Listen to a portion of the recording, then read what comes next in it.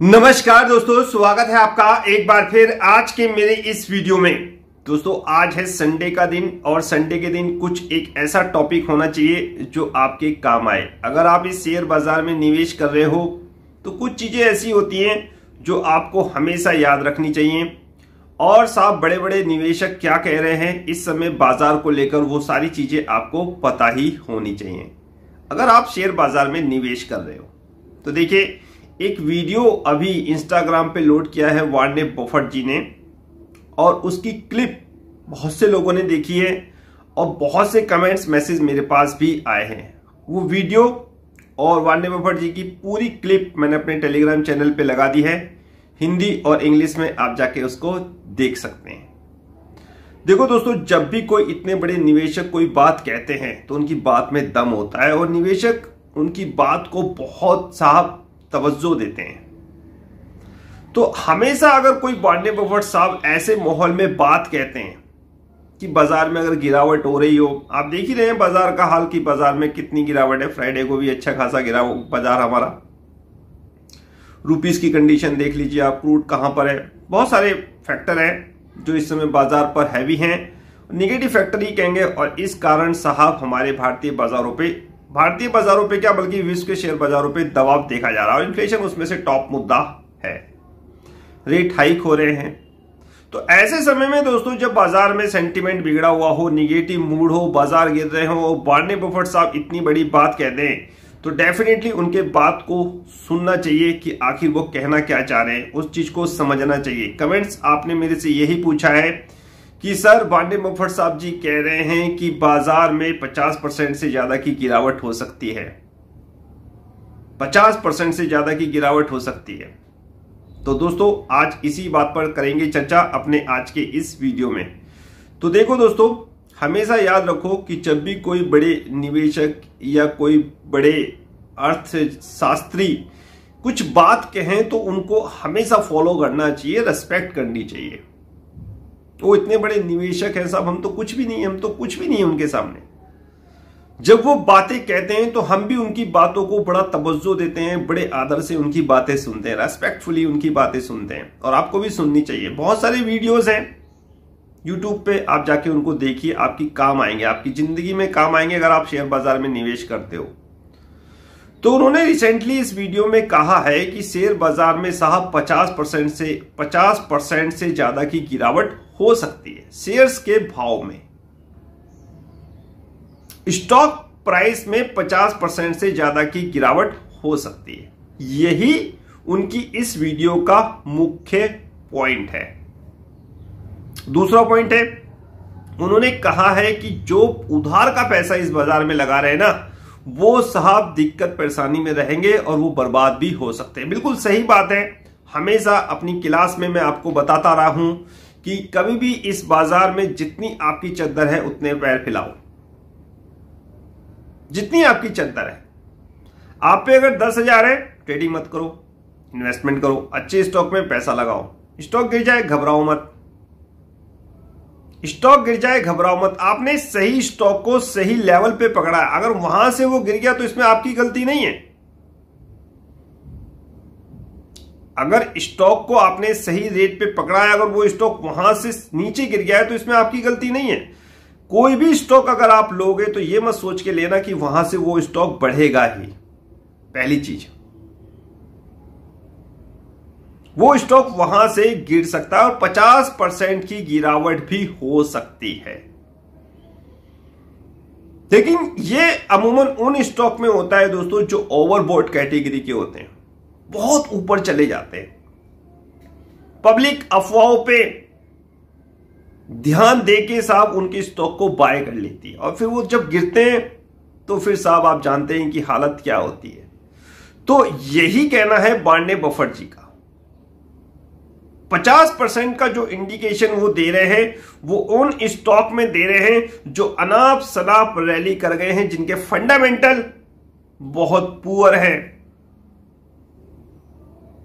खराब है। कंपनी का मैनेजमेंट, कंपनी में किस, कहाँ पर आप पैसा लगा रहे हो, मैनेजमेंट कैसा है, उसकी देने की नीयत है या नहीं है? कंपनी करती क्या है, उसके प्रोडक्ट की डिमांड है या नहीं है? बस अफवाहें आई कि खरीद लो, खरीद लिया और साफ़ फिर जब वो गिरा और फिर साफ़ सारा पैसा डूब गया। यही तो वो कहना चाह रहे हैं।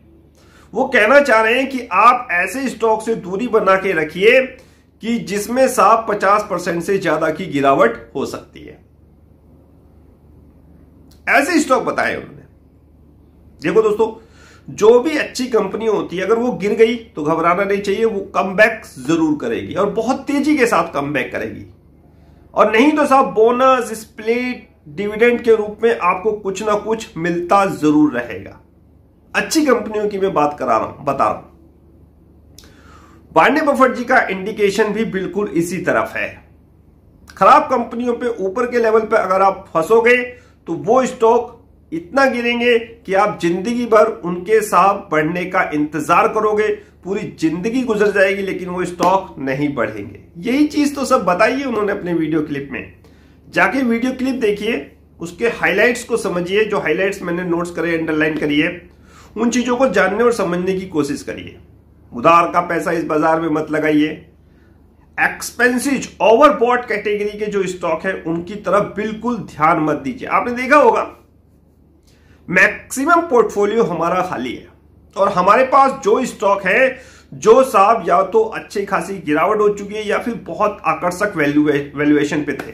निफ्टी का स्टॉक हमारे पोर्टफोलियो में नहीं है। हाँ कुछ एक स्टॉक की मैं बात नहीं करता, जैसे एसबीआई हो सकता है हमारे पास, नीचे के लेवल पे है एनटीपीसी है, और बीपीसीएल हमारे पे नीचे के लेवल का है। मैंने कहा ना, अगर स्टॉक का प्राइस हमने नीचे के लेवल पे ले रखा है तो घबराने वाली कोई बात नहीं है।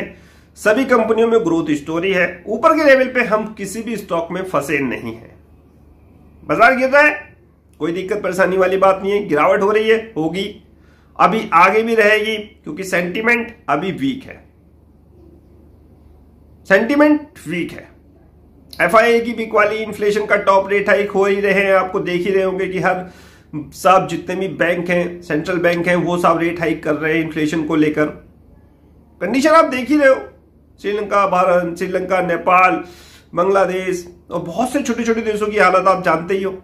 रशिया, यूक्रेन के कारण खाद्य जो समस्या है, उसकी जो उत्पन्न हुई है खास समस्या, उसको आप जान ही रहे हो, देख ही रहे हो। इन्फ्लेशन इसलिए टॉप पे है। क्रूड प्राइस कहाँ जा रहे हैं? तो इन चीज़ों को थोड़ा समझना चाहिए। ये चीज़ें हैवी रहेंगी बाज़ार में और यही चीज़ों को इंडिकेट कर रहे हैं हमारे बांडे बफट साहब। ऐसा ना हो कि आप कोई ऐसा स्टॉक अफवाह में खरीद ले जो साहब टॉप पे खड़ा हो और फिर साहब जब वो गिरे तो आपकी आधी कैपिटल सुहा हो जाए और फिर आप उसके इंतज़ार करो उसके बढ़ने का और वो रेट कभी ना ही आए। उनका मकसद डराना नहीं है। वार्ने बफर जी का मकसद डराना नहीं है कि आप लोग शेयर बाज़ार में निवेश ही ना करो। गिरावट एक अपॉर्चुनिटी होती है अच्छे स्टॉक को बाय करने की। उनका कहना यह है कि आप हाई वैल्यू के स्टॉक पे बाय मत करो। बाज़ार गिरेगा, बढ़ेगा, बाज़ार का नियम है। तो ऐसे स्टॉक से दूरी बना के रखो, उधार का पैसा बिल्कुल इस बाज़ार में मत लगाओ। निवेशक हो तो थोड़ा लंबी अवधि का निवेश सोचो कहीं पर भी अगर आप निवेश किया हुआ है तो थोड़ी लंबी अवधि का निवेश आपको करना चाहिए, सोचना चाहिए। इस समय अगर बाज़ार में आप स्टॉक बाय करते हो तो ऐसा नहीं है कि रिसेंटली कल ही आपका स्टॉक अच्छा खासा रिटर्न आपको दे देगा। तो थोड़ा सा समय दीजिए, इंतज़ार करिए, और बांडने बफर्स आपकी ये वीडियो क्लिप मेरे टेलीग्राम चैनल पे लगी हुई है, इसको देखिए। बहुत काम आएगी आपके जीवन में, अगर आप निवेशक हो शेयर बाज़ार में। बहुत कुछ और भी अगर आपको जानना है तो साहब, आपके पास यूट्यूब का एक अच्छा प्लेटफॉर्म है। वहाँ बांडे बफट साहब की बहुत सारी वीडियोस हैं, उन्हें देखिए। मेरे से कुछ पूछना हो तो मुझसे कांटेक्ट कर सकते हैं। डिस्क्रिप्शन में सारी चीज़ें आपको मिल जाएँगी। एम के एम को ज्वाइन करिए और साहब, मेरे टेलीग्राम को भी आप ज्वाइन करके वहाँ से भी अच्छी अच्छी जानकारी प्राप्त कर सकते हो। और मुझे आगे दीजिए। फाइनली आज का ये वीडियो समाप्त करने की स्पेशली आज मार्केट अपडेट्स का वीडियो मुझे बनाना था। लेकिन बाज़ार में मैंने आपको बता दिया, बाज़ार में कुछ है नहीं एफ़ की सेलिंग इन्फ्लेशन टॉप पे रेट हाइक हो रहे, ये सारी चीज़ें चल रही हैं। और ये मैंने कई बार आपको बता रखी है। रोज अपने मार्केट रिव्यू के जो वीडियोस आता है मेरा, सुबह के समय टेलीग्राम चैनल पर ऑलरेडी डिस्कस करता ही रहता हूँ।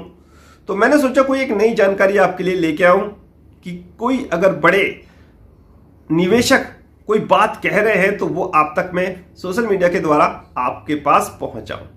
तो बांडे जी की ये बड़ी बात थी। उन्होंने चेतावनी भरे शब्दों में कहा है कि आने वाले समय में आप एक अच्छी गिरावट देख सकते हो। तो अगर ये बात उनकी सही होती है तो डेफिनेटली जो स्टॉक टॉप पे है, वो औंधे मुँह गिरेंगे। तो ऐसे स्टॉक से समय रहते आपको आगाह होना चाहिए और समय रहते आपको उन स्टॉक को छोड़ देना चाहिए और अपनी कैपिटल को विड्रॉ करके किसी अच्छे स्टॉक में इन्वेस्टमेंट करना चाहिए, जिसकी ग्रोथ स्टोरी हो। ग्रोथ स्टोरी कैसे आइडेंटिफाई करते हैं, वो सारी चीज़ें मैं आपको अपनी क्लास में बताता रहता हूँ। फाइनली मुझे आज का वीडियो समाप्त करने की आगे दीजिए। नेक्स्ट वीडियो में नए अपडेट के साथ होगी मुलाकात। तब तक इंतज़ार। फाइनली नमस्कार।